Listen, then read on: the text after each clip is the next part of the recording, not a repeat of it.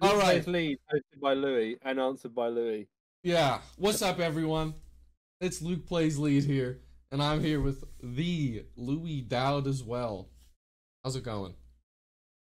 Hey Luke, how's it going, man? I'm very happy to be here, and we're gonna have a nice, uh, nice little doobie here. It'll be fun.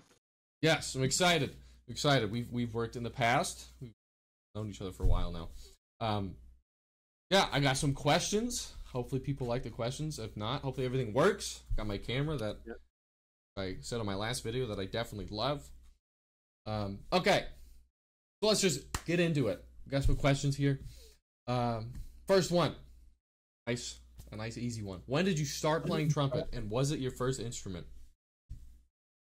No, it wasn't my first instrument. My first instrument was piano. I started that when I was about four, and then uh, drums when I was seven, and then trumpet when I was eight. Did not know you played drums. I think I remember the piano part. That's cool. What? Why drums? Uh, well, I was actually a, mainly a drummer until about fourteen or fifteen. Um, well, why, why, why, why drums? Drums are awesome. I think true, everyone should play drums. you are just hitting everyone should play drums. I think it's really important for your time, and I think, yeah, and then I think all drummers should obviously play a real instrument as well. Um, so true. So true. I almost switched to drums. I started on trombone in fourth grade, and oh, good camera. And then I um I was debating switching it to trumpet, percussion, tuba, or clarinet. And I had a I had a friend who played trumpet, so I played big trumpet. you made the right decision. Yeah, I definitely did. I don't think I would be nearly where I am today with uh, if, it, if I didn't pick a good instrument, fun instrument. Um, Yeah. okay. Uh, so when when you started, were you like super into music, or is it just like a hobby, or do you not care? Like when I started, I never practiced. I was just like, well, my parents made me do an instrument, so here I am. My mother was a music teacher. hmm She was the head of music at the uh, primary school that I attended, and um, yeah, I just started learning piano with another piano teacher. My mother was a piano, like a classroom teacher and a piano and woodwind teacher. Um, uh, my sister played clarinet, and then my little sister plays trombone, and Very musical. uh, we're pretty pretty musical house, and my dad plays uh, bass uh, and violin, and um, they ran a big band for a little while. So I don't know. I was just always surrounded by it. It was just kind of normal. yeah, it um, sounds like it. How was was it a loud house? Yeah, especially when they did rehearsals downstairs and stuff. You know, it was cool. I, I um, yeah, I don't know. I did I did I like it? Yeah, of course I liked it. I mean, I remember there was an abracadabra brass book, and there was just a trumpet in my house. I don't know why there was a trumpet in my house. My mum seems to think this wasn't the case, but I'm pretty sure that maybe like we were borrowing a trumpet. I don't know why, not for me, but I just picked it up and just found the abracadabra brass book and just started Mhm. reading the, just going through the book on my own. I was about seven. Um, and yeah, it was uh, no, uh, eight, eight actually. I think eight. Yeah, and it was um, yeah. Then I got a I got a teacher, and uh, and then the rest is history, really. But Rest yeah, history. a lot, lot of practice. Yeah, a lot of practice. that's Yeah, we had all these distractions that we have now. Know? Yeah, yeah, true. Uh, when did you decide that you wanted to continue music as a career? Well, it's interesting that you asked that question now because since I turned 30, um, I've had this big spiritual awakening and I've realized that there was no. that I wanted to be a pilot like your dad. Um, uh, I was really good career. at flying planes. Really, re- yeah, really good at flying planes on a on flight simulator when I was about 10. Um, and I've had some flying lessons and it was really cool. But uh, I just I got pretty good at trumpet um, and at the drums, and um, went to music school. And when you go to music school and you have all these like hours and hours and hours of practice built into your day, um, becomes quite uh, difficult to ever even imagine doing anything else, especially when you were good at music school as well, right? and there were some really great players in music school who didn't end up playing music for a living. Um, but I guess um, I guess I, I guess I wanted to do it. I don't know. I've been questioning all this stuff recently. You know, it's funny you, you should ask. Um, Mhm. The question is, when did you decide to pursue music? I uh, there was no decision. It was just we, we were there. Just, just went into it. It's just the natural progression of where you were. Yeah, and like when I finished uh, school, I went straight to music college, and then met my wife, who was also at music college, and and that's just that was kind of what it was. Um, Cool. there was no there was no like, right, I'm going to do this. It's just Wasn't for that. There was for I me. I Contrary to that one, I did have a moment where I was like, I'm gonna do music. I don't know. I, I I wish I had a, a better answer, but yeah, I just just kept playing, and then I remember saying like, I want to play music, but I, I think it was more that people would have been a bit surprised if I hadn't want to do music. It was more that way, around, you know. hmm I could see that. Uh huh. That makes sense. Um, I was gonna say something, but I totally forget what it was. Um, oh no, I remember. Um, the I, I wonder if like my experience where it was just like, oh, I want to do music, and your experience was just like a natural progression. I I wonder if that is a um expression of the different systems from where you are to where I am, where it's like you. What year did you have music? Like what quote unquote school grade did you like do? You went into like a music school. Um, Sorry, no, so the off- difference between script. Uh, so I have a very, I have a very unconventional mm, uh, upbringing, even for here. Um, in the scheme of things, but what I believe, uh, so one of the things I found strange about when I when I went to the US, um, to go and do clinics and things, was I I didn't even realize that people didn't take, um, uh, like individual one-on-one lessons. So Mhm. uh, the way that it works here is you go to school.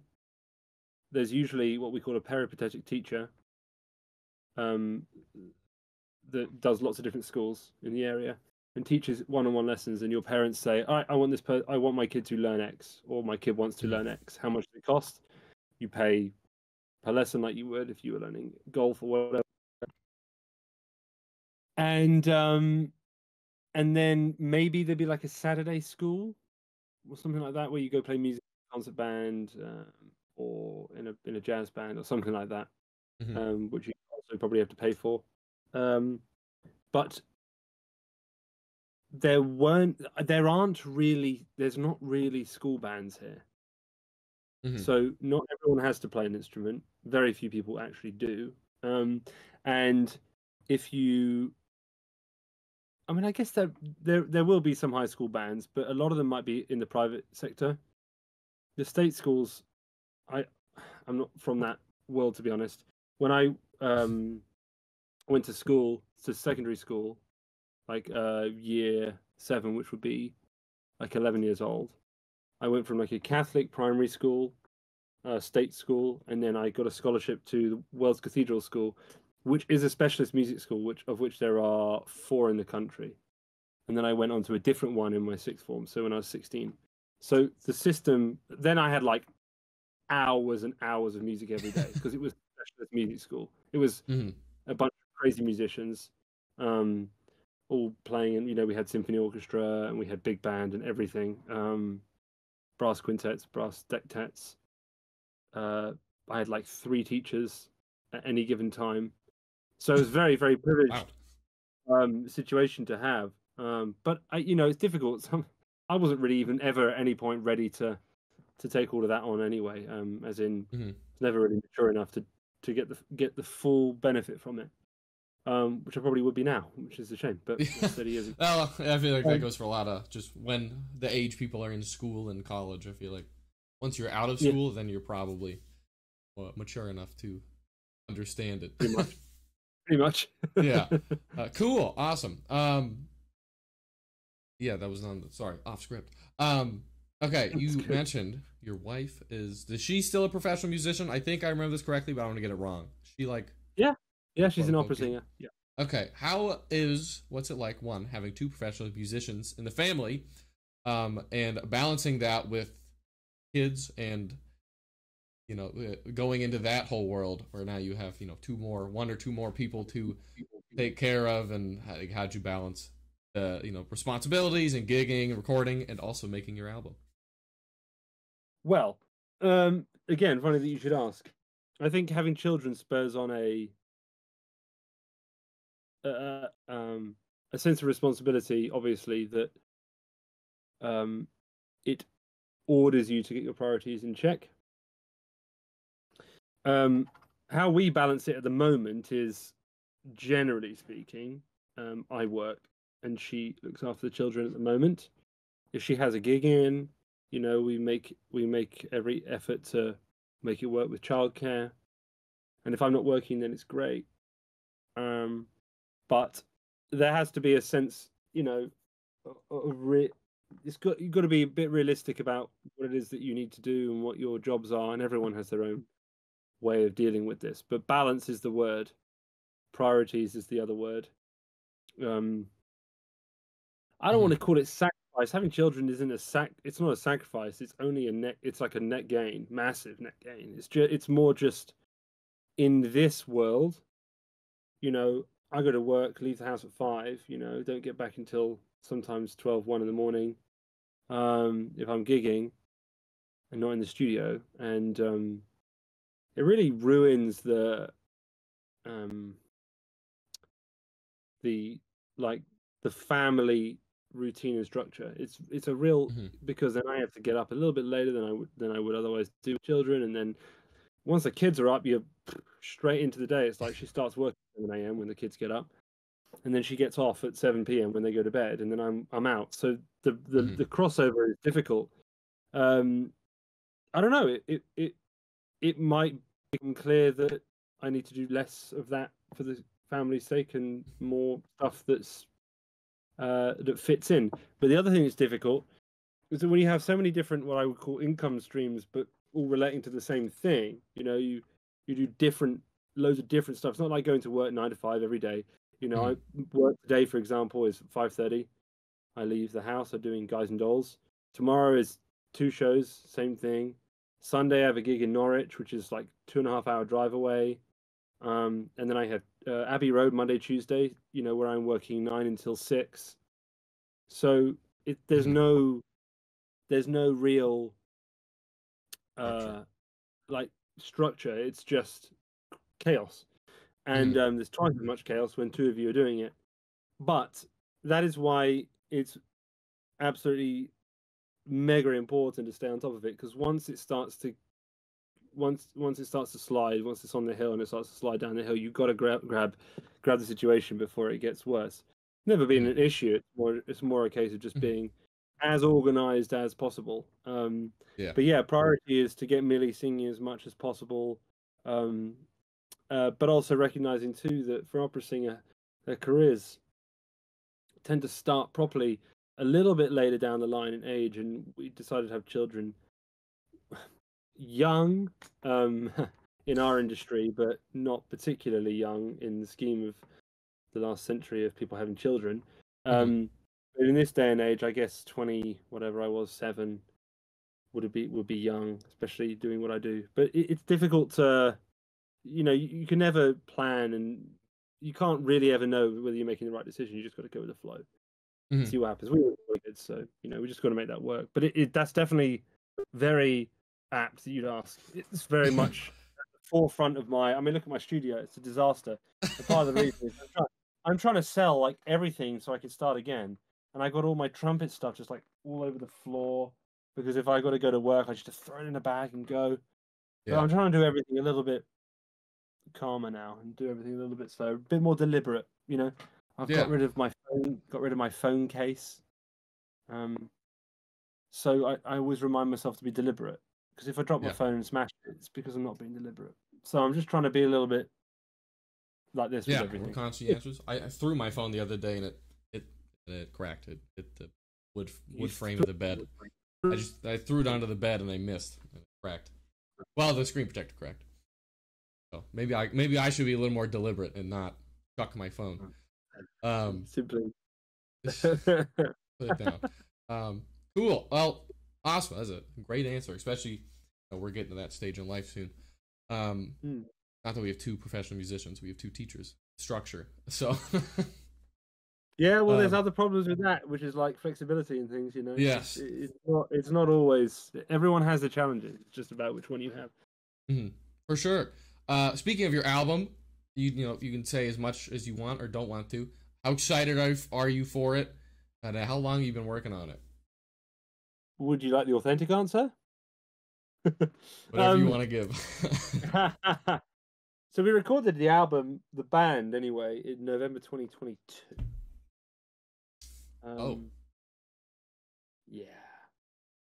But ha- yeah, as I say, kind of wrapping into the previous question, having children and trying to earn a living and having the confidence too to like sort of throw everything at something, and then also to figure out why it is you're even doing it. You know, I went through a period of time, particularly in my mid twenties, and then after COVID, where I realized that I was doing things, I don't know, to sell stuff or to make. And um, I realized recently that actually I've got to try and figure out how I can, how this album can be used to help people or, you know, um, be just like authentically me. I've been terrified of releasing things that have been perfect in the past, you Mhm. know, and that's actually not who I am. I'm not perfect, but it's very difficult in this day and age. So I kind of got stuck on the album because I couldn't bring myself emotionally to work on it with all of the other things that were going on. And Mhm. um, anyway, the new, the first track is about to come out. It might be out by the time this interview's out, Nessun Dorma, and so that's coming out within the next week. So um, yeah, that will kind of mark the start of this new journey, um, this new journey of of authenticity and and who I actually am, not this uh, not this person who's been wearing masks for ten or fifteen years, try and Hmm. prove something. So um, that's uh, that's kind of how that's how excited I am for the album. It's like I don't know how excited I am for the album. Um, I need to uh, I need to find out why I'm doing the album because it just seemed like the obvious thing to do, and actually, yeah. I totally overwhelmed myself with the amount of perfectionism that I put on it.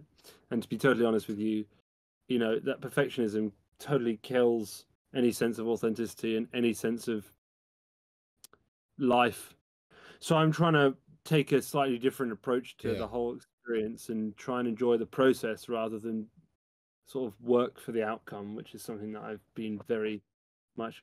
Um, you asked me a question before we started, and you said, um, "Is there anything that you would say that you um, have said that, uh, that you said in the past that you would now disagree with?" Um, You could probably ask that question later, but I will forget if I don't answer it now because it's just come to my mind. But I used to say things along the lines of, "I'm very much a product guy, not so much a process guy." Um, and uh, yeah, that doesn't make you very happy. So it's better to be a process person, Mhm. um, trust the process, invest in the process, and then um, experience the outcome as a um, as as a bonus. Really, I Mhm. mean, the same thing could be said. You know, if you want to go and try and win a Grammy, you know, why are you why are you releasing this music? Are you trying to release music to win a Grammy, or are you releasing this music because it's a representation of who you are? Slash, you think it might help someone emotionally, or like I don't know, like there's got to be a good reason for doing it outside of just selling. Um, And if you're trying to win a Grammy with something and you're trying to calculate your way to it, it ain't gonna happen because the only reason that something wins a Grammy is because it's, you know, felt good. Yeah, meaningful and it feels good. And uh, they're not perfect either, those performances. So, um, and uh, uh, they're not perfect in a mixing point of view either. So I'm trying to figure out how to get excited about my album. Hmm. And that's not to say I'm not excited about it. It's just simply a case of uh, total overwhelm trying to do it and burnout. Um, Yeah. uh, because I've taken on a task that is uh, absolutely gigantic and um, spent the whole first year and a half of the process trying to make sure that I didn't show any of my flaws in the process or in any of the product. So um, it's kind of hindered my ability to move forward with it. But we are moving. so it will come out definitely. I am excited, despite not being uh, an outcome guy anymore. I am actually excited to like see it out there, you know, and see hmm it, see if see if some of the music does help people. I don't know. I've got to change my tune with the whole thing, you know, because Imagine it's a hard shift. to have in the middle of the process. Probably. Yeah, it is, but it also the the music's so good that it that's not like I think it will move people in in in one way or another. Um but it's more about my delivery, you know, and like really start to believe what I'm doing this for is being something else, you know. I think when you turn 30, you know, and you have children especially, but like when you turn 30, all of different things happen to you and you start to it's not, it's not a case of trying to find out find meaning or anything that yeah i could see what that looks like straight away but more more a case of uh why a high note like or why a trumpet album like why that over something else. So i've got to i have to answer that question. Yeah. and i have the right answer to it. Um or at least i have to search for the answer. Because the first album was it was authentic in that I just released stuff as we went. Like I just Yeah. oh, I'm doing this tune now. Let's do this tune. Cool, we'll do this tune, and this put on took my mates over to my flat and blah blah. We play and release the tune, and everyone goes, "Well, that's fun." But this one was like hardcore calculated right from the get go to try and be as efficient as possible with time, to try and be as efficient as possible with money, to be trying to be as efficient as possible with um, videos, and a lot of things went wrong in that regard. And Mhm. it was all down to, I'm convinced it was all down to trying to calculate, like, not a shortcut by any means. It's much more, this next album is much more elaborate than the first. Yeah. Um, but the first one was, I, I, I believe it was authentic. You know, I was a 20, 20 something year old kid just trying to do something. And this Mhm. time it's like, Get out there. this time it's like, oh, I've done that. Um, now let's build on that, but like in a kind of slightly cynical way. So I, I need to I've had to reinvent what it is in my mind to move forwards with it. But yeah. Well, I'm ex- I'm excited for it. Uh, I can tell you that. I know It's you gonna be- me. one- it's, it's showed me a gonna be bit good. Like it will be good.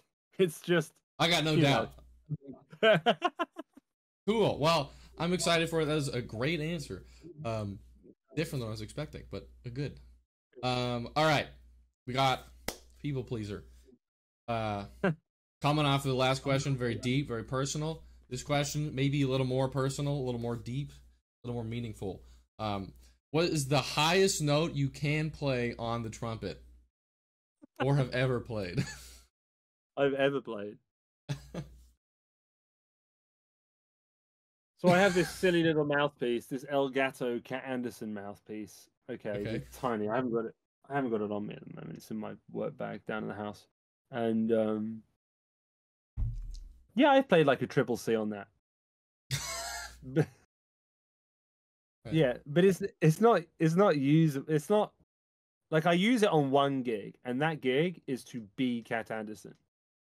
So I do Okay. one gig on an on an Ellington project, Duke Ellington Are you project. able to so- say which gig it was? When- well, all of them. Oh, Like- oh, I see. Okay. Yeah, I have to. I just have to be like crazy. Everything's above double high C. But um, Oh, but it's only with that mouthpiece. With my mouthpiece, like my the one I use for, to to be me, P like a double high E flat. That's the one, baby.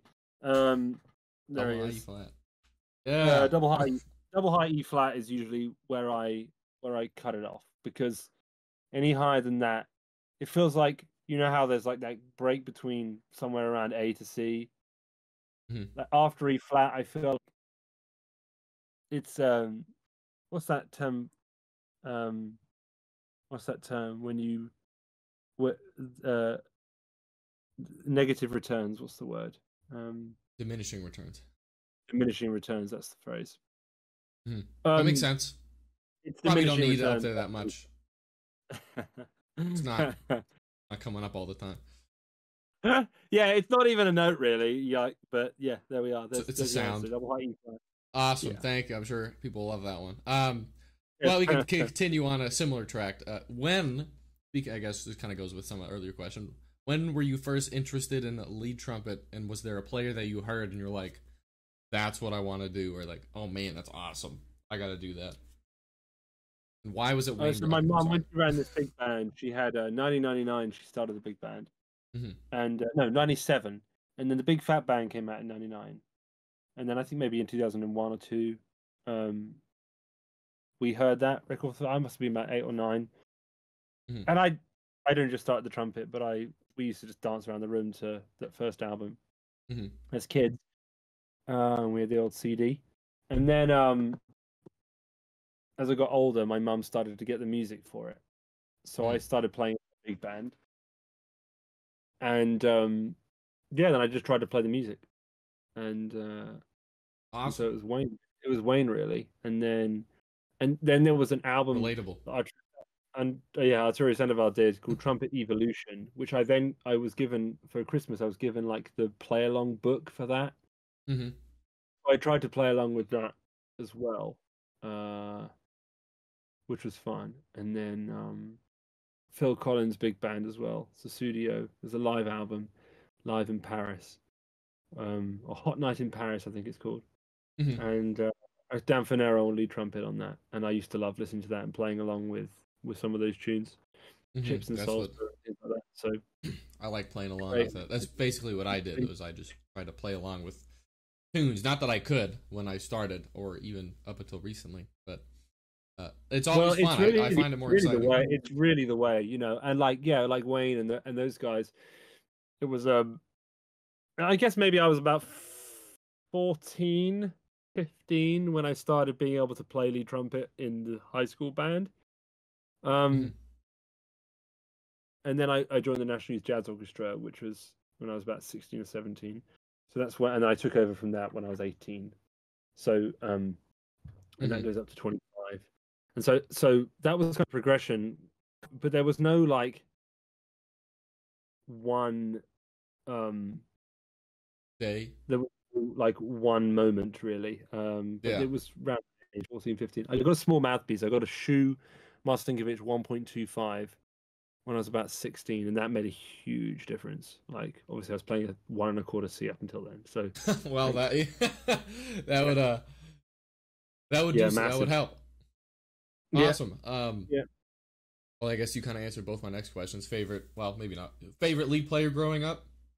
Wayne Bergeron, yeah Okay, yeah, relatable. Um, and was there an album or album or chart that sticks out as the one that like inspired you? Uh, but you kind of answered that. yeah there were tons of things a lot of it was the big phat band Big phat band. um, at the time. It was funny, yeah. And then I, I kind of learned everything a bit backwards as well, right? Because when I was in my late eight, when I was in my late teens, I think maybe I was eighteen or nineteen. uh, Eighteen, I joined the Syd Lawrence Orchestra, and that's an orchestra, a band that plays Glenn Miller and uh, Billy May, Nelson Riddle, all these old uh, old arrangements. And so I I learned all of that, you know, the Gozo sound world as I got old, a bit older, and, and I played in the BBC Big Band and some stuff like that. That where, where we we played that music, and actually, that slightly more modern, um, I uh, call it cleaner big band sound thing, the LA Mhm. studio sound.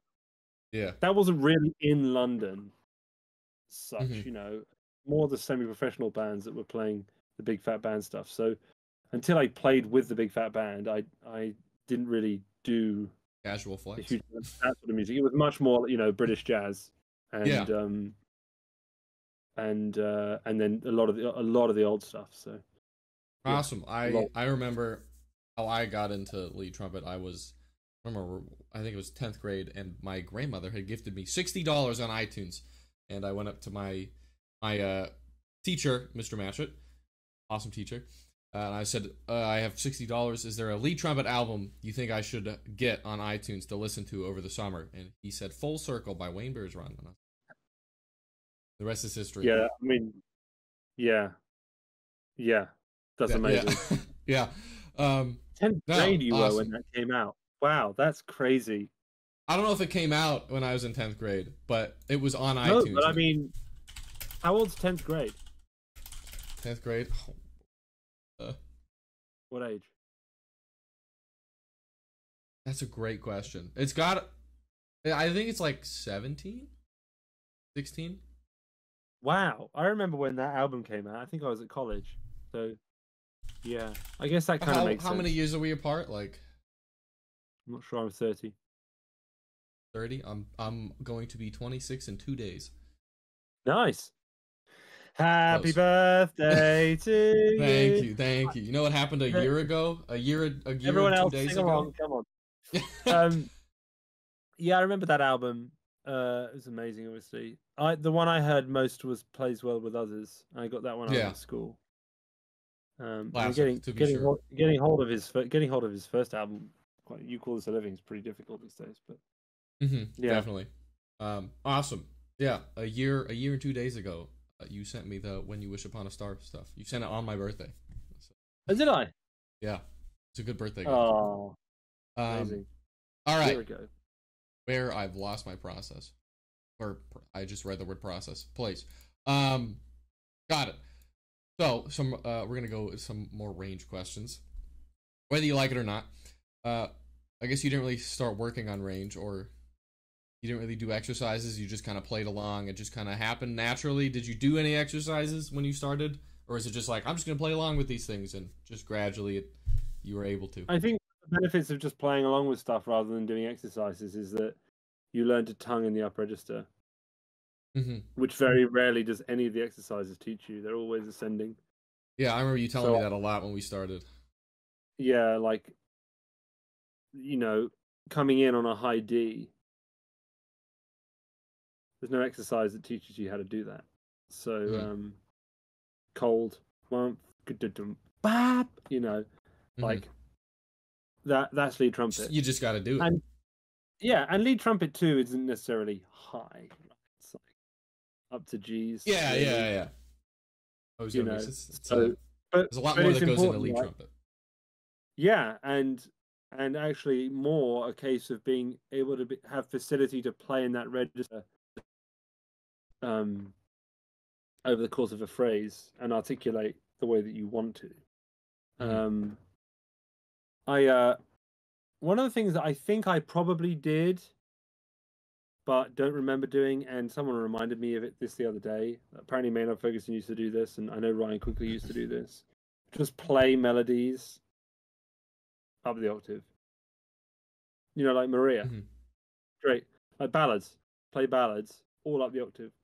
Yeah, And and and you let the musicality dictate the technique to you. And then but that's as children, that's how we learn. We've always learned that way. And then it's only when we become adults that we get completely in our own heads and um the conscious analytical fear-based mind starts to get in your way of actually being able to improve because you can't let go of your own sense of self-judgment. So anyway, there's time, Mhm. there's time for that. yeah. It's uh, over over analyzing and over changing is something that probably most people have struggled with, myself included, as we've we understood. I remember one time in the lesson I was I don't know what it was, but we were talking in the lesson and I was struggling with something, you know, a double A break or something like that, and you told me to just he's like just pretend you're gonna play a, a double C, but play with first valve, which is when I play. I don't know if you remember this. Uh, you're like uh, slur from C to double C, but just hold down first valve, and I did it, and it was like to this day probably the best double A I've ever played in my life. It was it was fantastic. It was loud, strong, in tune. It was beautiful. Never been I you know I played double A's, but never been able to play like that again. Uh, Yeah. So overanalyze. Sometimes you just got to do it. You just Yeah. You know, you just got to do it. too easy, you know, too easy with this tree of knowledge world we live in, like all of the all the internet and everything. It's just so much One- information. Yeah. And our little Page eight of can't take Google. it. Looking Yeah. up by exact Reinhardt. We'll get to Reinhardt in a bit. Um, okay. Um, I think it's, that's a good answer. I like that. Uh, speaking of trumpet, is there any one thing? I know they all they all go together. There's a lot of stuff that goes into trumpet playing. Um, but if there's one aspect, maybe you should focus on first before really diving into other aspects, or like like if you'd rather listen to a trumpet player with like this one aspect of them is perfect, what would like tone, articulation, style, range? Probably not that one. Um, It's a very good think? question. I would like to say sound, but I can't. Mhm. Um, and the reason I can't say sound is if you ask someone to work on their sound, Doesn't I mean, what does that mean? Yeah. What is it? What does that mean? You know, we're just going to sit here and play a second line G until I have a perfect sound. Mhm. There is no perfect sound. Um, the answer I'm going to give is a little bit grey, but I'm going to say because I think that everything comes together, as in sound only comes when concept comes. Like otherwise, you know, what's a good sound? It's only whatever your concept is of a sound. Mhm. Um, most important aspect of trumpets to focus on before you really focus on other aspects. You have to know what a trumpet sounds like.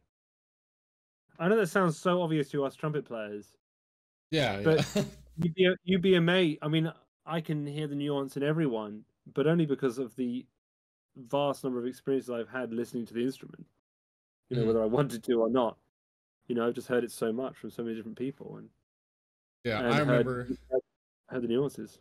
in school, our again, in I think it was high school, uh, we would be doing like a trumpet sectional or just trumpets, and our band director, he would go down the line. He said, "Who, who, whose trumpet sound do you have in your head when you're playing? Like, who are you? Whose sound are you imagining?" Um, which I thought was a great question because you know I Yeah, feel like most people in band at that point, probably I think it was ninth or tenth grade, they didn't really probably listen to trumpet, including my probably well, myself also, you know, included. event- eventually that that sound, that person becomes you.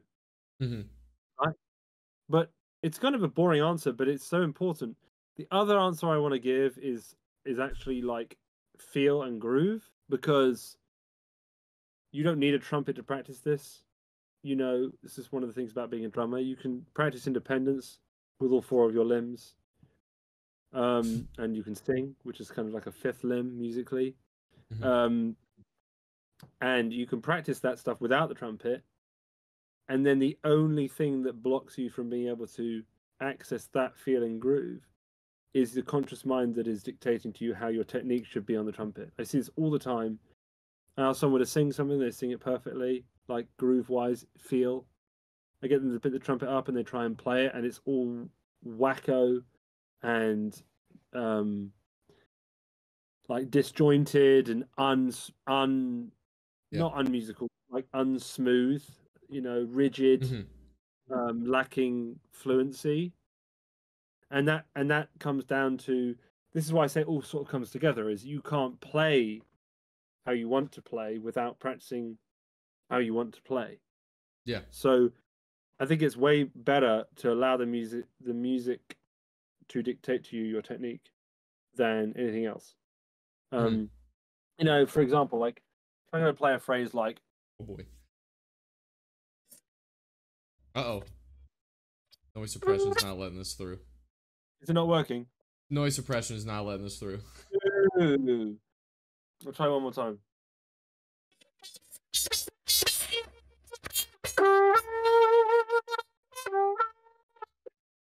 Is that It sounds it sounds beautiful.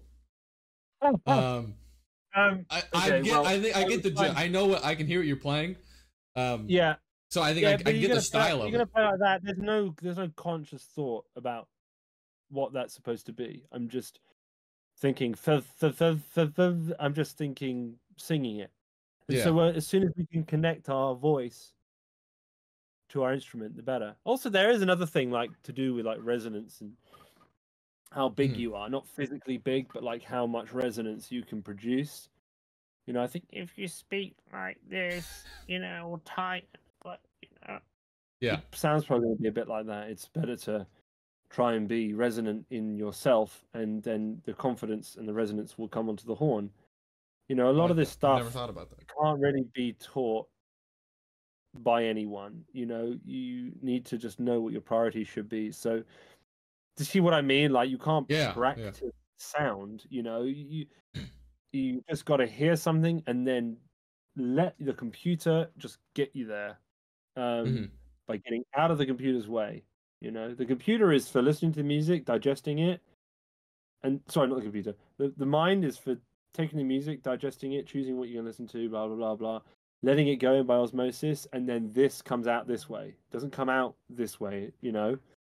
Um, Mhm. yeah. Good, good answer. I like that. It's uh, always insightful. Um, all right, next topic. I think we'll be here for a little bit. Maybe we won't. I don't know.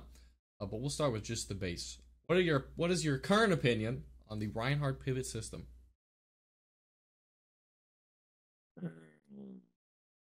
Um, I know we've talked a lot about it in the past. We've had a lot of lessons on it. Um, you've talked a lot about it in the past as well.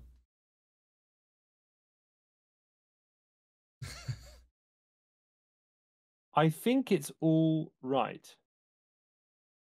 like all right or all right? It's all right. Not all right. It's all right. ALL. However, A L L. Yeah. However, eh, however,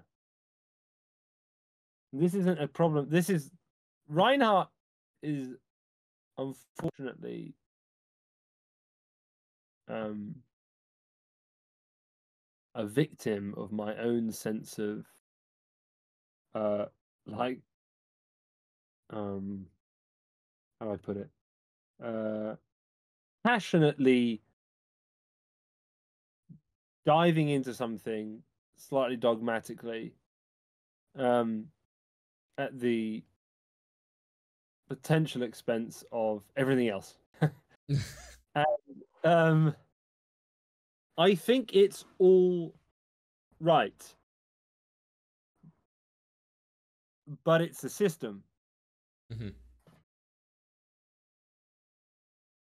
and you have to invest in a system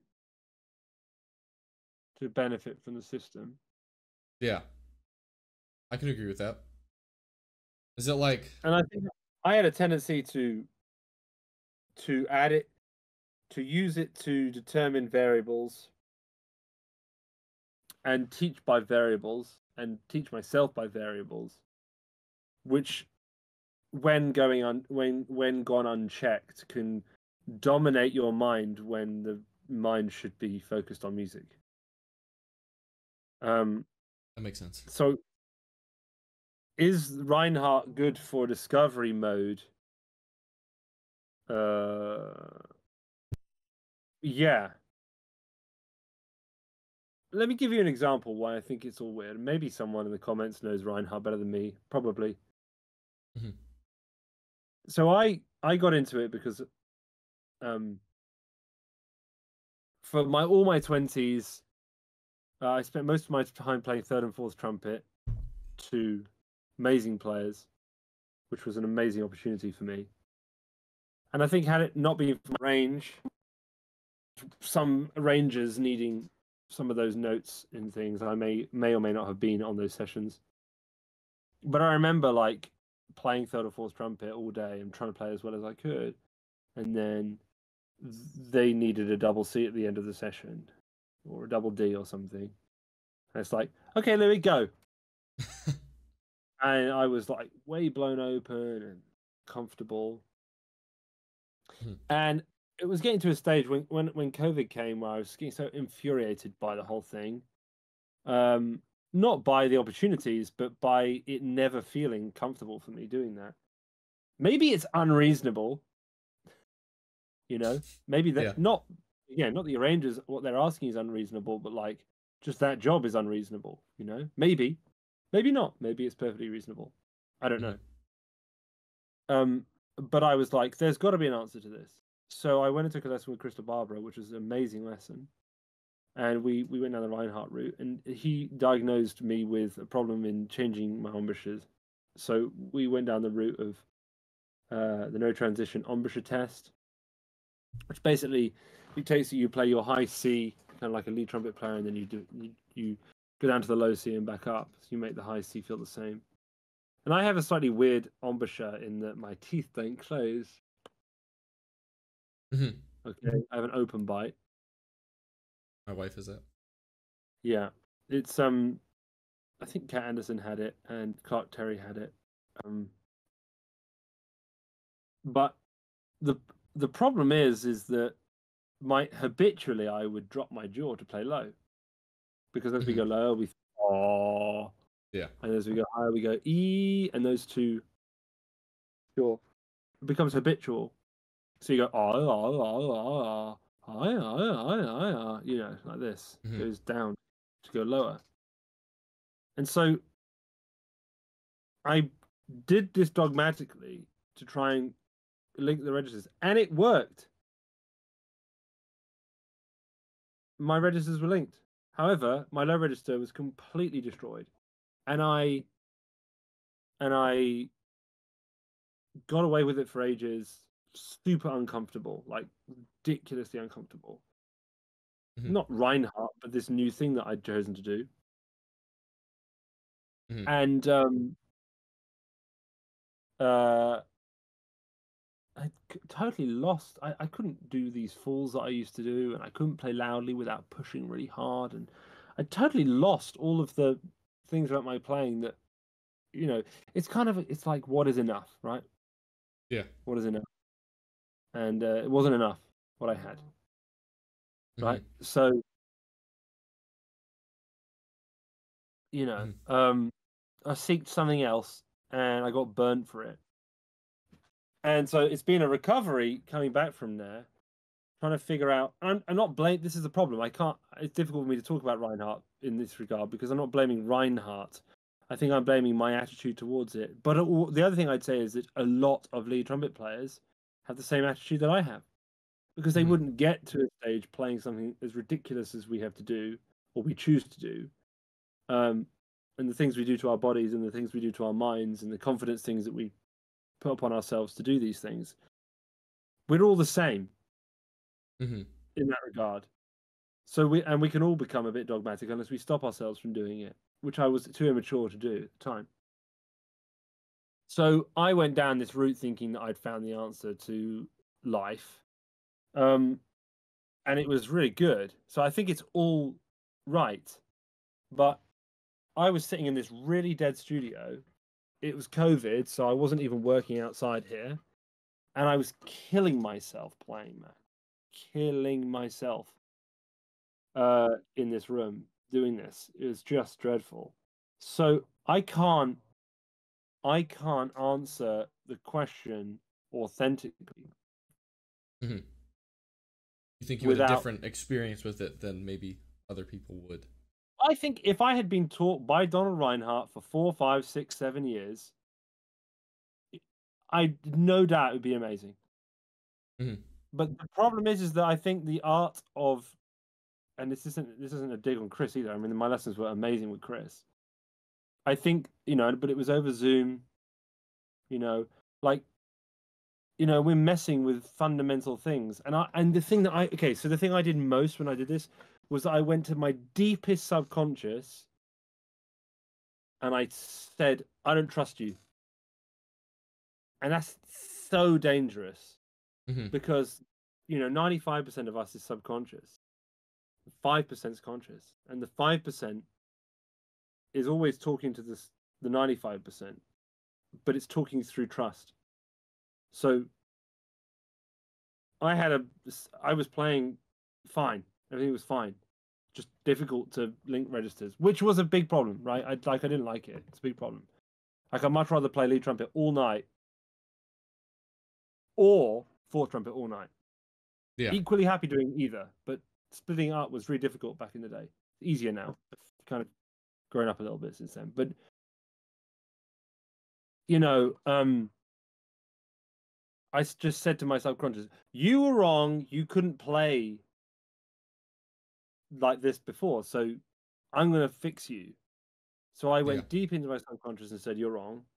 I don't trust you anymore." And I didn't have an environment, physical, ambient environment, to test these things properly, and I also didn't have the correct mindset when making the changes. I was dogmatic. Um, and just like boneheaded about it, just Yeah. wrong.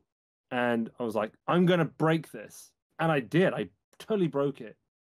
Um, uh, so I don't know whether it's Reinhardt or whether it's just my approach to it, but I'm very careful about teaching people things that um, they can't um, guide themselves on right? I like auto domesticated myself and then like on the horn and uh, allowed it to become I don't know how to describe it really, but anyone that's high skilled at something, um, in it, there's a sense of fear associated with messing with it. Yeah. And I didn't have any fear. I was like, no, we're gonna deal with it now. So I went in, tried to deal with it, went five steps back, and then struggled to get back those five steps. I feel like I'm there now, Mhm. but oh man, has it been a journey? The cool thing though is that I'm not really sad about the journey either because it, it is a journey, and I've learned a lot trying to Mhm. figure out how to get back to a sense of feel that I used to have when I played with a lot more freedom and a lot less what turned out to be tension. Um, Mhm. so That makes sense. Yeah.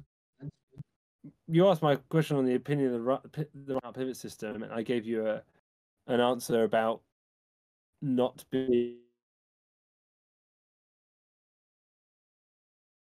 who are younger Mhm. before they've committed to a career in this field that there's nothing to lose. But when you you're think they should start when they're younger? well, when they're younger, they they can experiment freely. Yeah. But when you when you have a job, you know what is enough. Hmm. You know, because you the in this in seeking more, you risk more, and that's admirable in in some regard, but it's also dangerous. Um, and it and it you you know you've got to be a bit careful about it. So, um, I would recommend to anyone that if you have a system that you followed at any point and you know that it achieved a result that was beneficial to you, then there is some merit in just because how many of us have really seen our potential with any given system? Yeah. You know, when this is the question that I always have now when people come up to me and they ask if they can I have a lesson on Reinhardt, and then I always say, why? And then they always answer the question with some, well, because you know, I think that maybe I can play a bit higher and like I should be able to. I'm like, no. The reason you're coming, or the reason that you're getting a new trumpet, the reason you need a new mouthpiece, the reason you, it's because you've lost trust. You've lost the trust with your subconscious. You've lost the trust with yourself. So you come into a lesson with me, and what you're really looking for is an answer. But in reality, what my job to do is now to help instill some more trust in the fact that you've been able to do these things before. If you can't do them, then well, maybe we can look into it. But if you've got something going for you, you know, and you and you're seeking something more than you know, I guess being a bit greedy, right? Like it can come back to bite you. That's that that's you know that's not me saying don't try and get better, but just be Yeah. cau- just be cautious with why you're doing something and how you're doing it because the because the the potential downsides are huge. Um, so uh, you know it's not that dissimilar to having a bike accident and knocking your front teeth out and to relearn. It really isn't. But Mhm. it's no one wants, no no one should do that to themselves on purpose. Yeah. You've got to be if you're going to go down a route like this, dip your toes in it first. Don't Mhm. dive in the deep end. Be a bit careful. first and then. Actually, I Yeah. I think Reinhardt helped me out a lot um, in figuring out some of the big issues I had. But uh, I think having your guidance through it was definitely very beneficial um, to make sure I didn't like Yeah. go too far down or maybe maybe go a similar path. Because I also very in my trumpet playing career have had a lot of um, self trust issues, just self and It's particularly difficult playing lead trumpet as well because of just how exposed you are. Yeah, you can't it's- really have a bad day either. Like you can't have a bad day. that's something I've So what, struggled with. Like how yeah, it's like it's I wake up and I have a bad day. Like how do I make I sure mean- this doesn't happen on a gig? Well, we all have bad days. It's about minimizing the worst days to Yeah, either bad net days like better. and you know, so I've I've learned golf over the last year, and and um, I've realized that golf teachers don't make you hit the ball better. They make your misses better. Mhm. You know, they make you more consistent, but it doesn't make you better. How you get better is by practicing and hand-eye coordination and and uh, you know, a bit of theory, but really it comes down to feel. It comes down to Mhm. trust in the computer. If you only have the uh, target in your mind when you swing, you're going to swing with total freedom. But if you have any trust issues with what your body is about to perform, then you're going to get in your own way and you're going to lose 10 miles an hour on the swing speed. You're going to hit the floor behind the ball because you're trying to guide the ball, the club head through the ball. You're not just thinking about swinging. That's the same thing here. Yeah, Stop thinking. that's what Josh Ju- Kaufman at one time. I had a lesson with him, and he's uh, it's a common phrase. But uh, was it paralysis by analysis? Just like completely overthinking, getting stuck in your head. Yeah, yeah. I mean, but it happens to the best of us, right? It's like because what is enough? I ask the question again, and that there's a there's infinite potential by just following the arbor. Mhm. You know, has anyone ever reached their potential? No, because that because then that wouldn't exist, like potential. Um, so there's always more of the journey to explore, but Yeah. we don't have to be we don't have to be doing it in a secretive, if that's a word, definitely not, um, way. Yeah. So Good. yeah, I like it. it's uh it's, it's definitely a hot topic, Reinhardt pivot system. Um, but I, I I do definitely agree with you. I think it done the right way. I think it is fantastic. Um, but I think it is also precarious. It could you could definitely. I think everything's really like that, right? yeah but- that's true. It's more about Um, the situation that you're in. Yeah, I think the main danger with the pivot system comes. Uh, there's probably more, but the one that I in my experience with it is like thinking I'm, I'm a four A. To, I'm a, this is what I am four A, and then just being like, oh, that's what I am, but then maybe not considering other stuff, or you're not sure. Like maybe you're not sure if you're four A or three B, and you know, all all that stuff, and it's just like there's There's so bliss- many options to contemplate. There's bliss in ignorance, right? That's why there's a that's there's a saying. There's a bliss in ignorance, and and the moment that you have awareness of something, you're then responsible for it. Mhm. So um, uh, it could be easier just to not know, Yeah, live in live in live in the dark. It's safer and happier. Yeah. if it's working, don't dive into it. Yeah, yeah. If it's working, you know, don't don't get greedy. um, all right, we'll move on from that. Unless you have anything else you want to say. Um, well, you did answer most of my questions here on it. Um, I guess the one I want to ask still is like officer classification stuff. I we know what we did just like literally just now answer this. I was gonna say, do you think someone should pursue finding their officer classification, or is like like you just said, if it's working, don't even dive into it. Uh, if it's working, don't dive into it. If you're interested and you think you can self diagnose, then do that. If you think you can get a lesson with someone, then also do that. And even if it's just to see who you play like, now that's Mhm. cool. See other people. I think There's that plenty of helped me. online. Uh, just to see who you play like, and then you can go listen to them, and you can hear the things that are great about the playing, things in their playing that are a little bit more difficult for them, because the, each classification does have traits and flaws um, Yeah. associated with it. So I think um, that was yeah. very fortunate on my end. I think very luckily. I, I don't really believe in luck too much, but um, like being taking lessons with you, I think I obviously I don't I don't want to say this the wrong way. I don't play like you. I'm not nearly at the level, but I think my the way I'm set up is in some way similar to you. So it was very fortunate that I you know got to take lessons with you and Yeah. watch you play and listen a lot because it helped me yeah, uh, a ton of I my playing. just throwing different ideas off each other too. It's really interesting. Yeah, uh, we good good lesson dynamic. I always enjoyed it. Um, all right, what are some things we've talked about this in lessons before? Are there any things, or what are some things that you believe probably most trumpet players are doing wrong, or it's like at a beginner level, it's pretty commonplace to teach this, but it's maybe misinformed, or shouldn't teach it altogether. Everyone's playing equipment is way too big for them. Well, yes, I, I I think we've talked about that. Yeah. that's I agree. It's just too large, too big a mouthpiece. I think that was Yeah. the main one we talked about. yeah, it's huge. You know, it's like, um, and also like,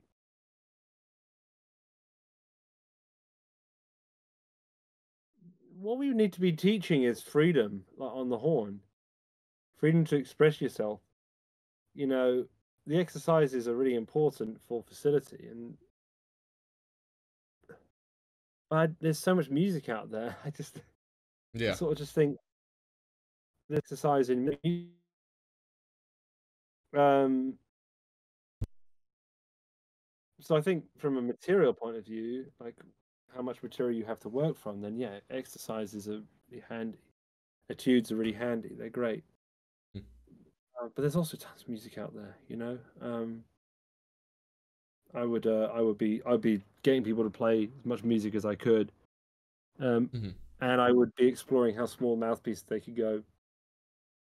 Yeah, I've I've That's witnessed cool. some young trumpet players who, on bigger mouthpieces, are just on uh, bigger to like to them like a- like a five C, They're all on a 17 huge mouthpiece. and it's just like, Everyone is on a huge mouthpiece. Everyone. No one is on anything smaller than a seven C. Mhm, that's what I started on seven C. Yeah. Um, especially at that age, not like a- I think we It's started. not a bad grade. mouthpiece. It's not a bad mouthpiece, but like these kids are small and they got small lips. Tiny. Go figure. Also, if you tell them that that's low C, that's middle C, that's high C, and then you tell them Yeah. to play high harder, Working it into their mental already. It's like this is high. This is hard. It's bad just news. Bad news. I, I, I again, I talk about my schooling a lot because I think I had a, I had a great uh, music program growing up. Um, I remember them telling us like if we just didn't, like if we didn't have even the staff, like if we just like taught students to play, like didn't show them that the third space C was higher than the like middle G mentally, and we didn't call it high C mentally, they probably would not struggle as much with it, or at least they probably wouldn't put as much effort in trying to play it and mess up that way. Um, not that we should. I don't know what we should or shouldn't do, but I just Yeah. I remember that analogy. It's like remove the staff, remove the words high and low, and uh, they'll probably won't struggle as much with it. It'll just be another note on the horn that they can play. Exactly. Um, awesome. I like that. Uh, breathing. This is something. This is a personal question for me because um, I feel like I've struggled with this a lot in the past. Maybe other people are as well. How do you approach breathing in and out of concert? Well, probably the same, but what's your? Do you have a process like breathing, or you just kind of do it? I think Wedge that there's breathing? a a good breath and then there's not then there's not good breath. Mhm. It's so difficult for me because I think I was taught to breathe well when I was younger, but it's not you know um ugh, I'm not sure. Like my wife taught me a fantastic opera breath where you breathe into your back yeah. and you working on that. expand like barrel intercostal muscles. And it, it, you can hear it in my voice when I do it. Hello, hello, hello. There's no tension in my voice, but I'm full Yeah. compared to the classic chest up. Hello, hello. Like there's immediately tension in my voice as soon as it gets there. So the air is like desperate to get out. Yeah. Hello, hello, hello, hello, hello, hello, hello. And only when you get closer to the pressure point, um, where the internal and out, external pressure are the same, um, Mhm. uh, the air is under a lot of compression already, a lot of tension. Yeah. Do we need that much? You know, you know, I, Oh boy.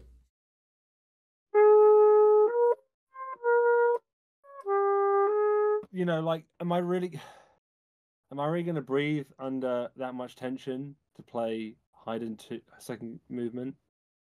You Mhm. know, I, I, I overcomplicated this for a while. I think that there is a better breath than another breath. Breathing is the back. Go look at some opera breathing. I think they have the best breath. Always silent. Always warm air at the back of your throat. Yeah. warm air at the back of your throat, silent breath.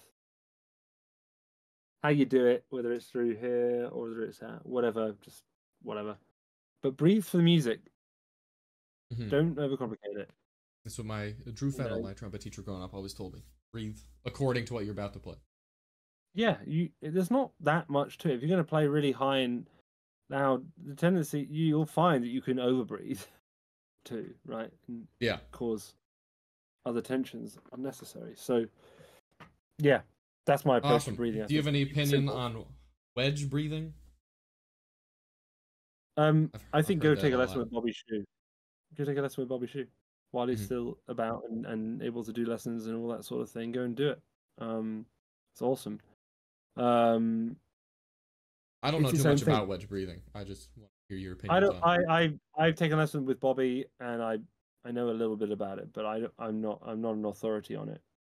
Mhm. Um, put it this way: there are some people that have completely designed their entire playing around it, and they're way better authority to it than I am. So Awesome. Good answer. I like it. Nice and safe. I, I I would rather you went and searched them out. Um, but do I think it's necessary? If you build your playing around it, then maybe. Mhm. But um, I've heard some amazing players that I use guess it. I guess the question is: Do you want to push or do you want to release? Hmm. And the cool thing about the wedge breath is that it creates a huge amount of tension in the air without then actively needing to press the air out. You Good know, it's just it. there. Yeah. It's just there. Um, as opposed to where you it's requiring a bit more active engagement of the core. But Yeah. less is usually more with all these things. You want a tight sound, then you, you're going to over you're going to overdo it. So you've got to be conscious of that with everything. Mhm. But I'm not an authority on it, so I like it. That's Yeah. uh, I think that summed it up well.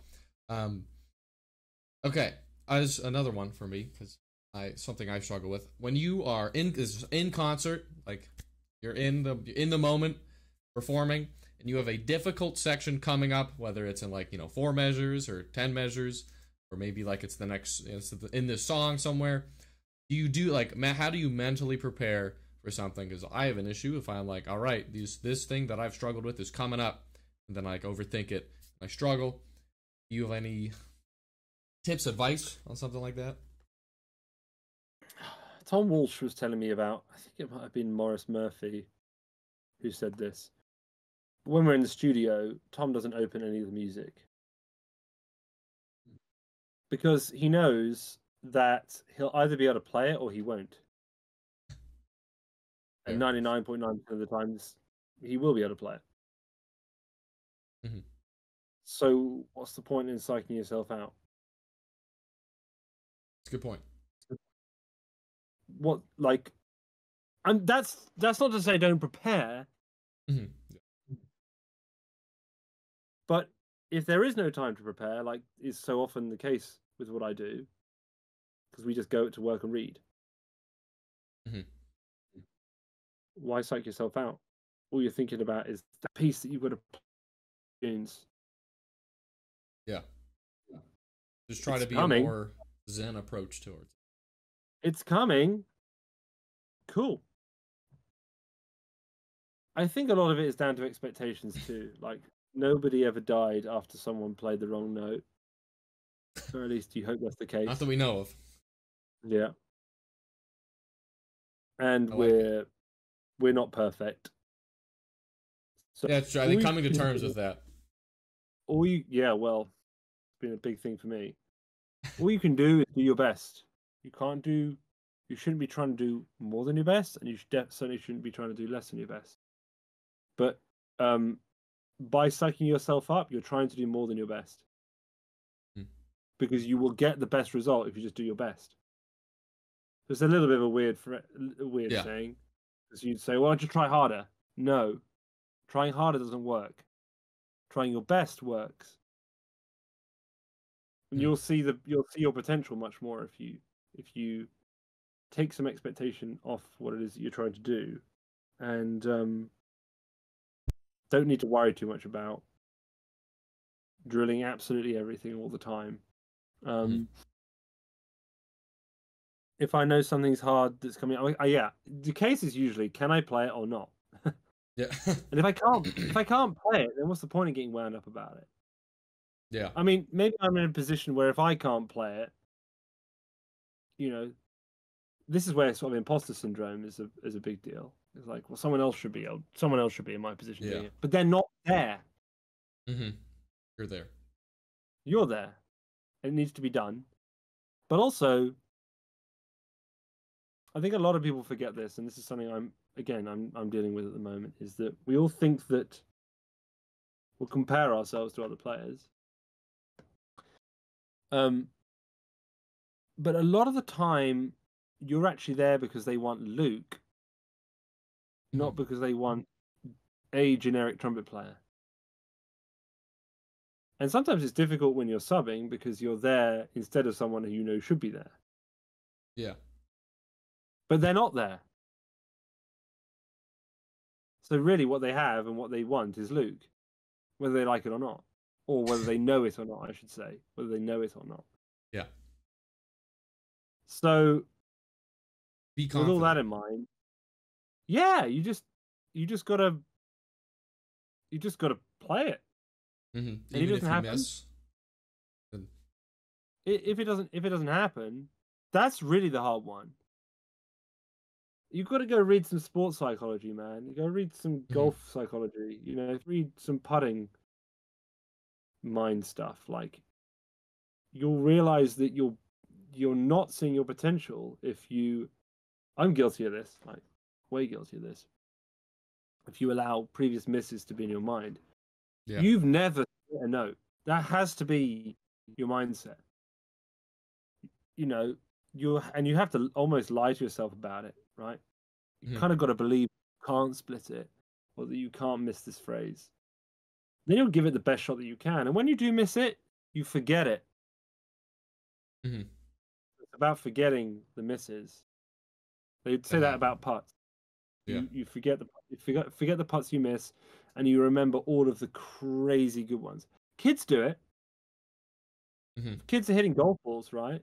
They're they've probably got fifty balls, and their dad's standing there, and they're hitting ball after ball after ball, and they're all bad, bad, bad. Kid doesn't get annoyed, bad, bad, and then he flushes one, and he turns around and goes, "Daddy, daddy, daddy, look." And then they remember that one, and then they go back to it because they want to feel that again. Bad Mhm. shot, bad shot, bad shot, bad shot. Flushed it. Daddy, daddy, daddy, look. Yeah. And the problem is, is that society nowadays tells us to, and, and sc- schooling is all about this. It's like, no, you didn't do well enough there. Do better. You know, they mark, they grade you, whatever, and it's, Yeah. it's all about overcoming problems and then doing better next time. Hmm. Doesn't always work out like that. So, if instead you can remember all the things that you did really well and then print those into your brain, you will do those things more well more often. Mhm. But if you fixate on the things that you need to do better, then you're, all you're doing is fixating on the negatives. Yeah. So if you you come out of the gig and you if you come out of the gig and you get a little notebook or something and you write down all the things that you did really really well on that gig and forget about the things that didn't go so well. Yeah, it won't happen overnight. But your mind will start to have a different relationship with the trumpet and with what it is that you need to do. Be more positive outlook rather than only thinking about the negatives. Mm. I think ninety nine yeah, percent of people. fixating on negatives is fixating on. We're the only animals that punish ourselves over and over and over again for the same injustice. Every other animal, they just they they get their fight or flight. The lion's chasing the deer. The deer runs away. The deer stops. The lion hasn't caught up. The deer's hidden, and then the adrenaline goes down. The cortisol goes down, and they go back to normal. And what we do is we just replay it over and over and over and over and over and over again in our heads because we're so terrified of it, and we Mhm. keep bringing that cortisol adrenaline back. The note hasn't even happened, and you're getting psyched up.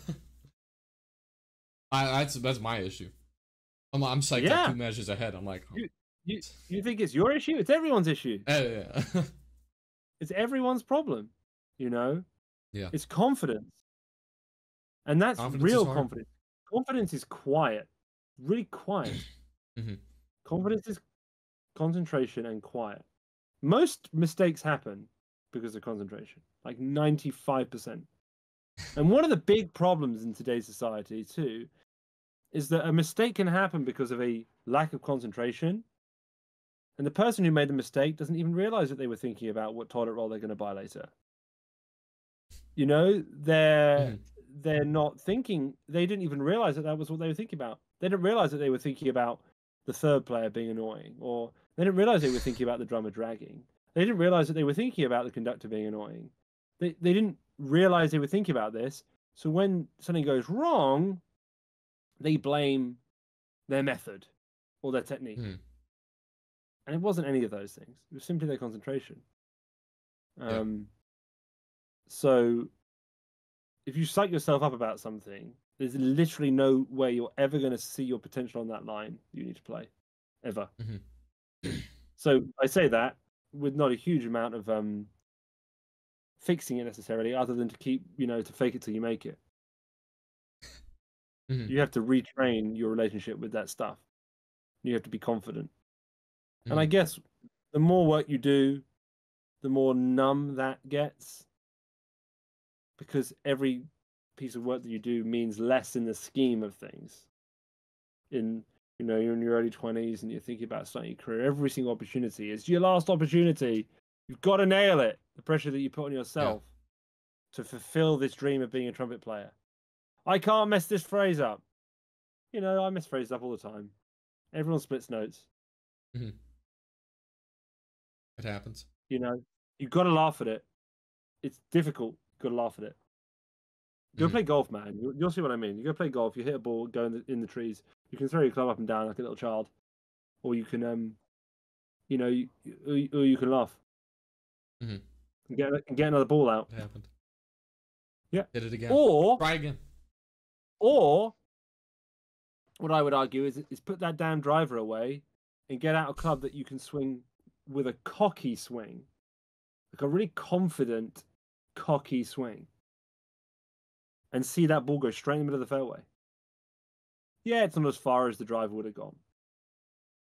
But what we're really trying to do is we're really trying to build confidence with every shot that we do on the golf course. We're trying to build every shot has to lead to the next shot of confidence, confidence, confidence, confidence, confidence.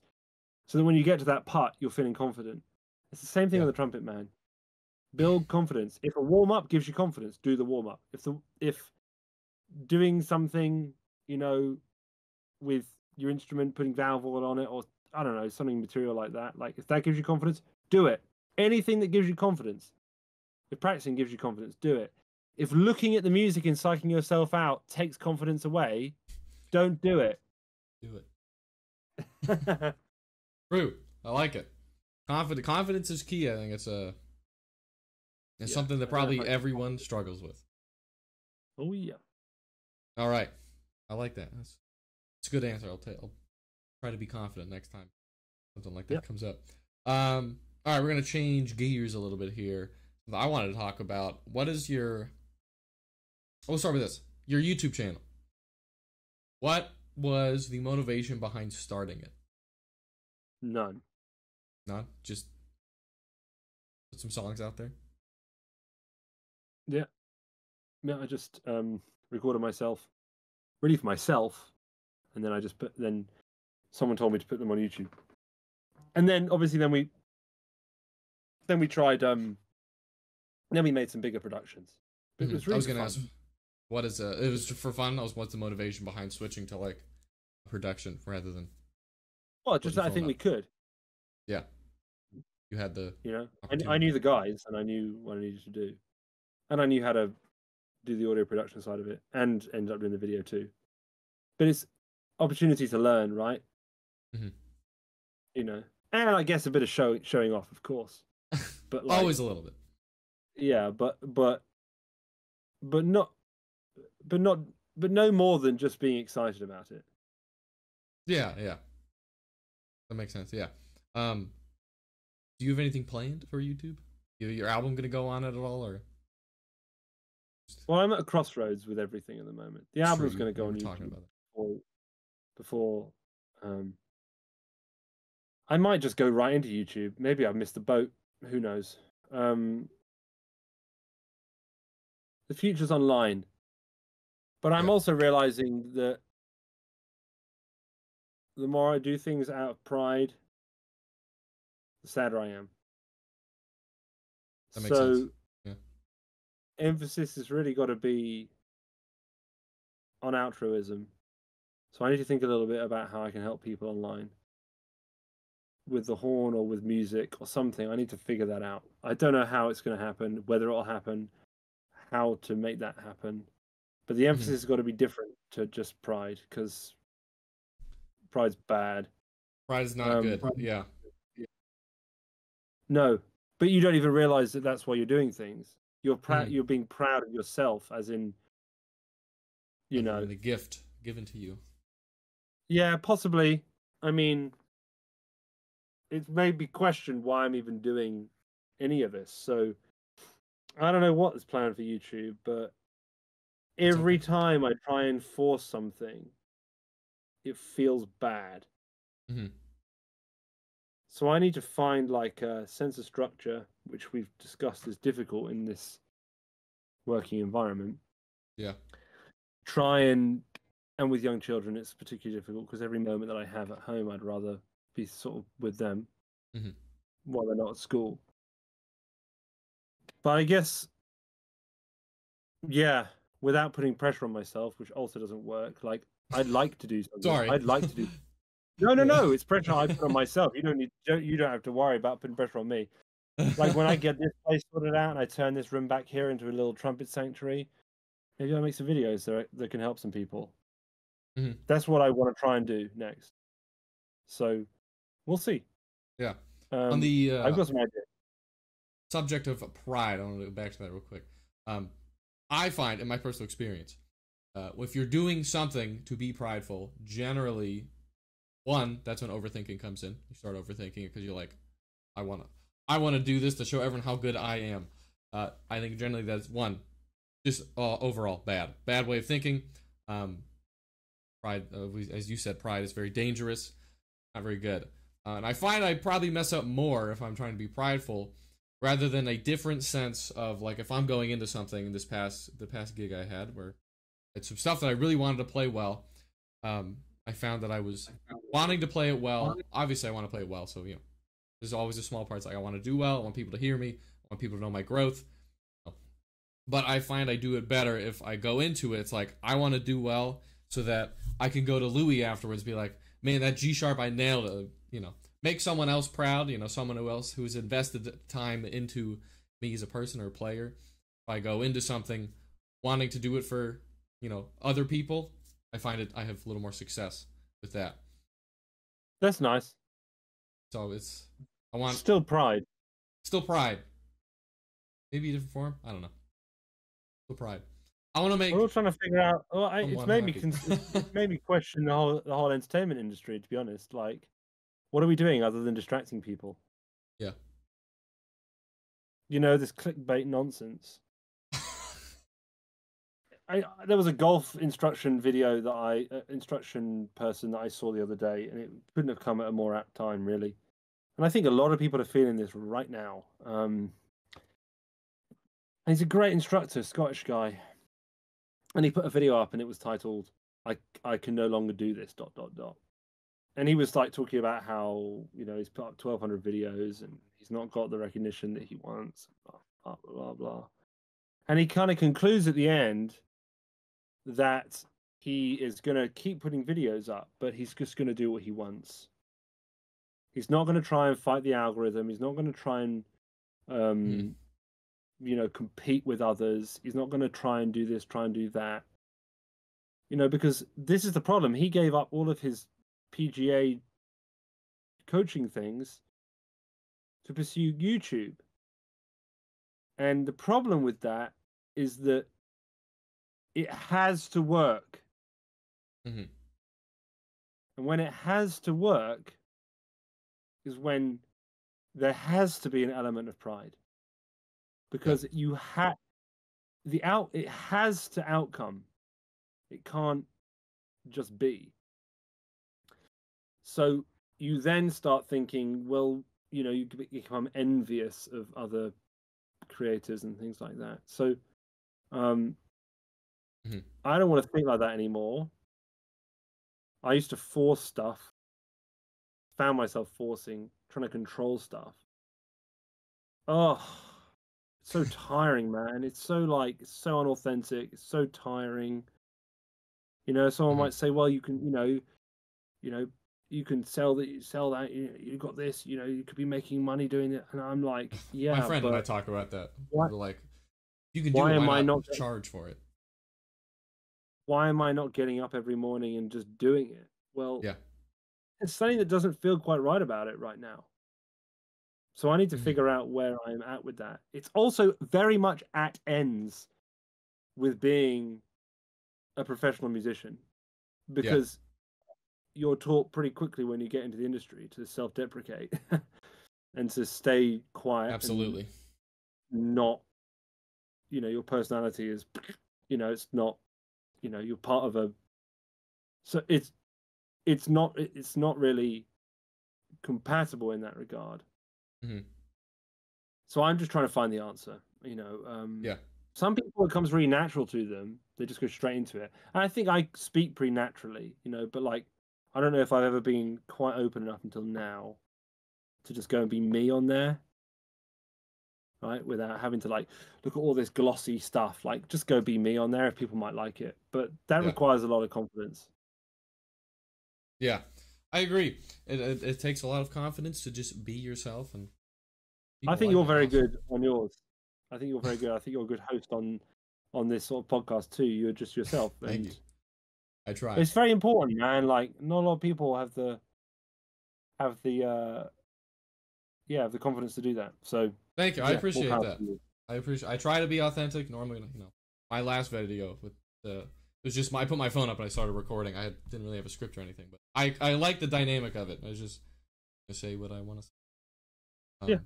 You If hear my some, cat? most people like it some won't and you gotta live with that Absolutely, absolutely. And There's al- there's always gonna be people that don't like what you're doing. That's okay. I, you know I'm fine with that. If you don't like my stuff, just click off and billions of other videos out there. But uh, yeah, all right. Um, good. I like that. Um, I've said that like a billion times. What is your favorite? you like it. I like it. I do like it. Okay. Um, do you have a favorite song you've done on you? I guess from your album. Do you have a favorite? Either probably Bridge Over Troubled Water or Game of Thrones, but really only just the last 20 seconds of Game of Thrones. It's uh, It's so cool. so The, good. build, the building section at the end, I remember speaking to Callum about that and saying, just like, I don't, I don't know, like, it's not even in Game of Thrones. can you write can you write something that like builds and builds and builds and builds? It's so cool. I I I remember. I don't watch Game. I've never watched Game of Thrones. I'm not like I'm against it. I just just haven't watched it. Um, but I remember not clicking on Game of Thrones, your Game of Thrones video for a while because I was like, I don't, I'm not gonna recognize it, whatever. And then when I clicked on it and we are hearing the ending, I was like, oh my goodness, this is like one of my favorite things he's ever done. I just I don't The even know is, the end is so cool. I need to, I need to So clip good. the end. I need to clip the end and put the end out because a lot of people won't get through all the nonsense. Won't get through it. but the end is so cool. It's so good. Uh, that's a great answer. I like Bridge Over Troubled Water. Water. You did a live performance recent-ishly of it. Maybe what? Maybe just the recording went up recently. And my goodness, that double A was beautiful. Oh, thanks, Um, man. Uh, I've I've was I've played that- along with that, that one live so many times. I can imagine Yeah. it's a not an easy one. Here's a whole- I mean, nothing. None of your songs are easy. I don't know. Sometimes you'll do a, a whole thing. That's ridiculous. Um. Okay. Uh, I've lost my place again. Uh, we're gonna have some closing questions here. Pretty closing, I guess. Uh, this keep this one probably keep this one pretty quick because I don't know if there's too much saying it. Equipment wise, um, how would I think mouthpiece the trumpet? There's different maybe different importances. How important do you think like getting the right mouthpiece is? Like I think when I got the the T 1.0, you should all buy it. Um, when I got that, I think it was like, I think it really helped me. Um, as opposed, I was on the Bergeron before that, um, which was good. I played well on it, but like going to the T 1.0 was like a noticeable difference of like sound and ease of playing. Yeah. T1.0, baby. Um, I uh, Some say it works for everyone. yeah, it works for everyone. No, it's just a cut. It's it's it's it's a fit. It's a fit, right? Yeah. Whatever gets you sounding closest to how you want to sound. And the other thing is, don't buy. I don't think anyway. Don't buy into this attitude that you can try a mouthpiece for a while and learn to play it. Mhm. I think it's nonsense, man. I think it's more like a shoe, you know. Well, no, that Yeah. I guess shoe would shoe would that. No, that's a really bad analogy because you'd expect a shoe to mold to your foot after a while.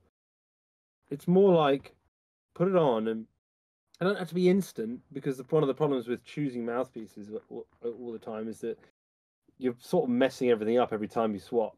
You know, because Yeah. the computer is having to recalibrate over and over and over again. But when one sticks, and then you find that your sound's good on it, and you've got a good register on it, and the flexibility's okay, that's a good mouthpiece. Not not much more than that. I feel a little bit um, targeted by myself for mouthpiece choosing stuff because I've created a monster that I have to keep up with my playing, like my, what I do. Created a monster Hmm. that requires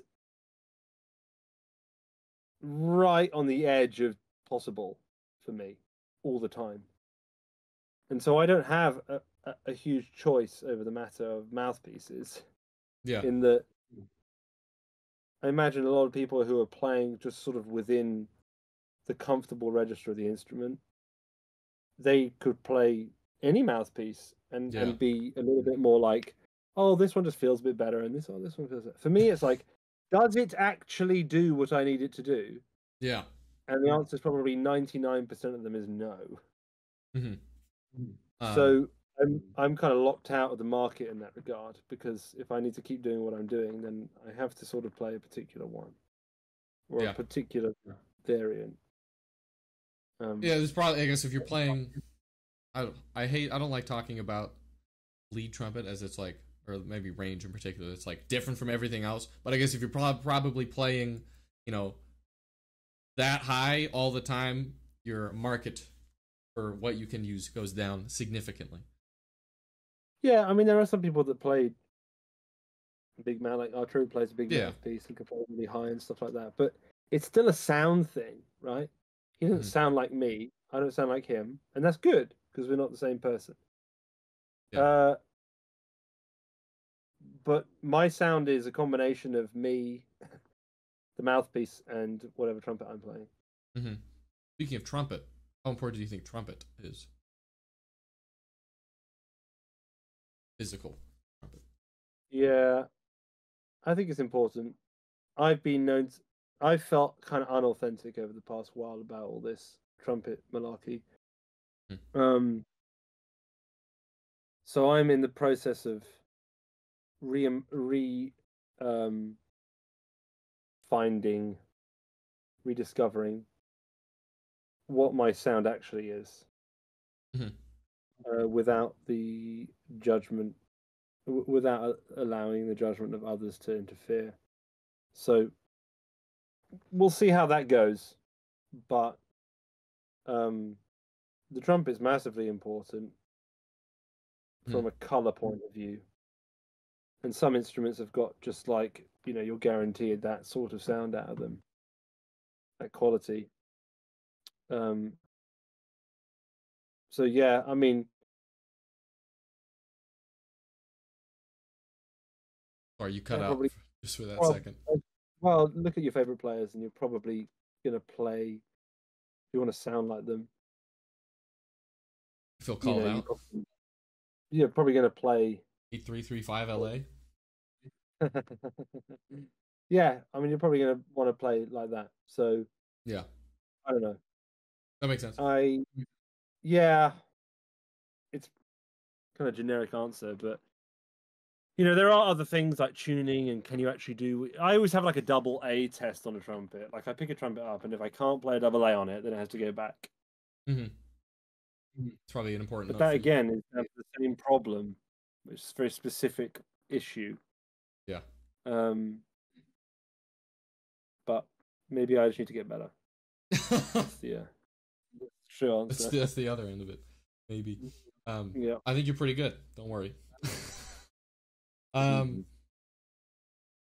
Okay. Uh, do you want to talk at all? Um, want to keep it a little quicker because this is probably you could probably talk about this for days. The process of creating your mouthpiece was that like a, I don't think it was fast. Oh yeah, it was great with Gary. Yeah, it was just like Mhm. it was crazy. Um, what's there to say? Um, um, I had like a six-hour theory lesson with him about it all, and then we did the playing tests. Yeah.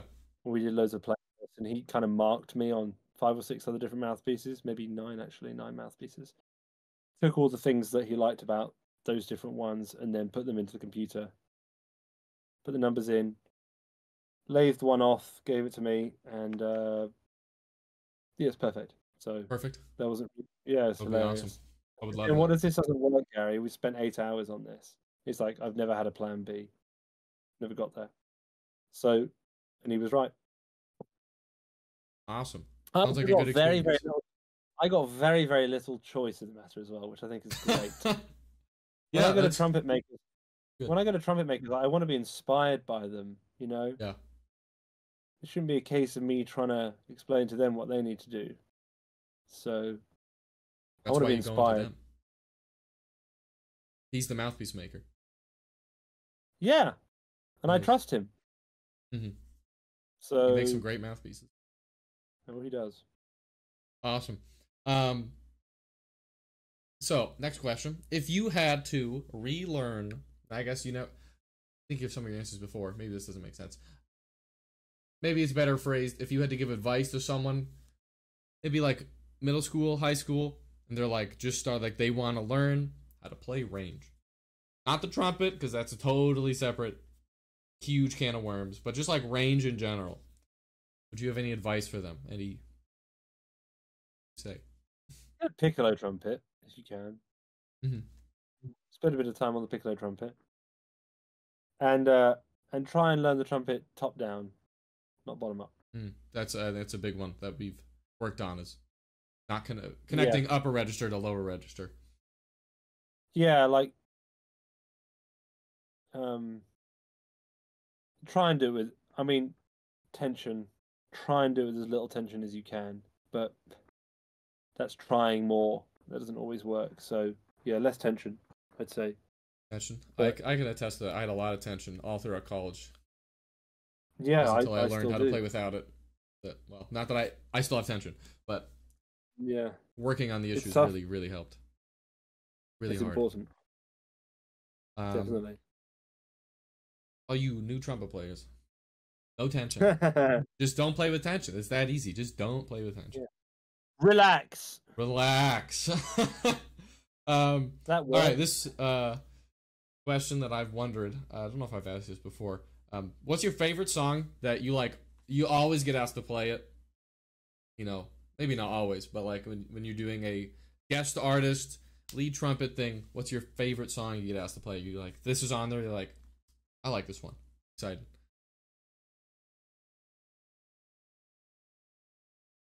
You hate all of them. I'm kidding. Mm. Uh-huh. Favorite one. It could be from your album. It could be something else, like you know, give it one, or maybe the gonna fly. I do like playing Give It One. Into the Unknown is fun, but it's really hard. When you wish upon a hard one. star, I like playing because it's easy. Don't do me like It's that. usually the. It's it was hard. It was hard for me.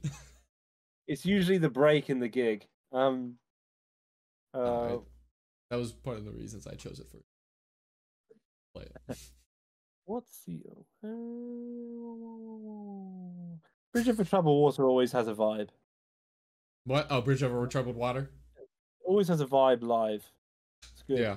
And now Ne- Nessun Dorma, you'll hear it. It's um Okay. very cool live. I don't like playing The Incredibles so much, and um Is that a hard one? it's not that it's hard. It's just bitty and a bit sort of, yeah, you Yeah. know. What about Sing Sing It's, Sing? it works. It works a lot better. I hate playing Sing Sing Sing. it works a lot. It works a lot better in the studio than it does live. The Incredibles, in my opinion. I could I could see that. Seeing the video you posted versus like maybe a live performance, both great, but like it definitely has a different dynamic. Than it does like Yeah. studio. Definitely. Awesome. So yeah, into, into the unknown always goes down the storm. Yeah, that's I remember. I have I have a friend, some people who don't play trumpet, don't listen to jazz, don't listen to like anything like that, and they heard Into the Unknown, and they're like, "You gotta send me this. That's awesome." it's just it's just good. It's like rocking. Um, That's the last video we released until this next week. Kind of crazy. true, it's a 2020. while. It's a good one. Um, all right, we're about at the end here. Uh, you've answered this last question pretty thoroughly throughout the whole thing, but uh, I guess I don't have to ask it. The question is, where do you see your career going in the future? But I feel like you've talked on that a lot. I give you a pretty good answer to that. Yeah, I agree. So here's here's the answer. And this isn't just trumpet, this is everything. Mhm. And it's I'd I, I'd suggest everyone takes this analogy and applies it to whatever it is that they're doing. Now, when we're young and we're unaware and we're just kind of going through life, we're we're sort of like a passenger on a boat, on a big cruise liner, just a passenger and our life is like this. And we're just going down this path and and the the cruise ship moves over here and we start you know we blame everyone you know or oh i didn't get a choice over this matter. I'm to just do this you know because i i've got to go to school i've got to do this. And then you know your parents move house and then so you've got to go to this school instead and then kind of you're a passenger on the cruise ship of life and and um you're just reacting all the time to everything that's Mhm. going on. And then at one point you gain enough awareness to realize that you have some control over stuff. Um, and you can make something of your life. The second level of consciousness would be called by me. First one's to me. Second one's by me. Where you're still kind of living like this but you're the captain of the ship now and you're you're choosing to point the ship in the direction that you want to. The only problem is is that the water below you is changing. And every single time that the water changes and it pulls the ship along, you become fixated on whatever goal it is that you have. And you try and steer the ship back to where you want to go. And you become a bit of a control freak because you realize, oh, with this level of awareness that I can make something of my life, which is kind of where I've been for about 10 years, is hmm I've got to control it and I've got to pull this through here. And the problem is, you end up in super burnout because the because the ship is just like constantly against the water. Life is asking you to go this way. You're going, no, I know better. Life is asking you to go that way. You go, no, I know better. And you're kind of forcing stuff all the time. Hmm. And so then, would you break through to the third level of awareness through me would be to actually be the water. Um, and what ends up happening is your sense of awareness goes from this idea of what your life should or shouldn't be, like, to that. Yeah. And this includes living in India for 40 years, it includes going to the moon, it includes living to 120, it includes being a vegetarian when all you've eaten is meat, it includes uh, having 50,000 children. Like, e- every possibility that there is in the quantum field is in this possibility. And when the water is pointing towards something, instead of resisting it, instead of blaming someone for moving the water, you just go with it. And you simply observe life for what it is in that given moment. And you enjoy all of the possible opportunities that there are without concern of judgment or concern of what you think you should be trying to do in the world. It's very obvious to me to be a trumpet mm. player, and maybe I should still be. I'm not planning on giving up, but I'm now open to the whole world and I'm open to seeing an opportunity, getting my head out of my phone, getting my head out of my life, getting the head out of everything that's going on, and going if my gut instinct feels good, not getting in the way of the computer and just going with it. So the answer to the question, where do you see your trumpet music career going in the future, is I don't. I'm not going to try and control it anymore. Um, Mm. I'm not going to try and force outcomes. I'm simply going to go with the flow, as they would say. And I'm going to trust that in the pursuit of altruism, that I will be repaid in some sense um, a happy, comfortable life playing the trumpet, hopefully. But I'm but I'm open, you know, I'm open to the, all the possibilities that there are out there now, because it's so much more liberating knowing that we don't really have control over anything. Yeah. So don't bother. You know, it's too tiring. It's like Mhm. killed me the last few years. So um and it sounds like I'm now being more lazy. It's not. It's like actually now my No, eyes are no. open. Yeah. I can actually see the possibilities. Whereas I would before have seen the op- opportunity was there and I would have made judgment on the opportunity and not been able to take it. Right? Yeah. Because it wouldn't have aligned with my idea of what my life was supposed to be. So I don't know what's going to happen. And I'm kind of excited for that reason too. It's very exciting. Yeah. The new possibilities that there are. Um so yeah, as a sort of philosophical answer at the end there, but it, it I like it's it. where I where everyone should, it's where everyone should be placing their attention, I agree. It's not fixating it on anything, Mm. um, and allowing opportunity to come into your life and being ready for the opportunity. You know, Yeah. Beautifully answered. I like it. Good. Couldn't, couldn't have hoped for a better close. I think that was a good sum up of everything we've talked about. I like that. yeah. Um, Well, it's it's it's it's what it's all about. So Awesome. Uh, well, I think it's about the end of our uh, Yeah. time here. Just an hour. Just kidding. Hour forty-eight. Um, any any closing thoughts? Any plugs? Anything you want to say? I- Get off your chest. I think we, I think we just about covered everything is Probably. to possibly be covered about anything. Yeah. So anyway, thanks Luke for having me. I had a lovely, chi- lovely Oh. time chatting.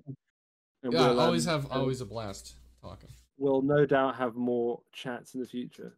It'll be good. Yeah, absolutely. Thanks for coming. Thanks for joining me. I hope everyone watching enjoyed it, and uh, peace out. Have a great day. Don't control your life. You know. Don't bother. Bye, everybody.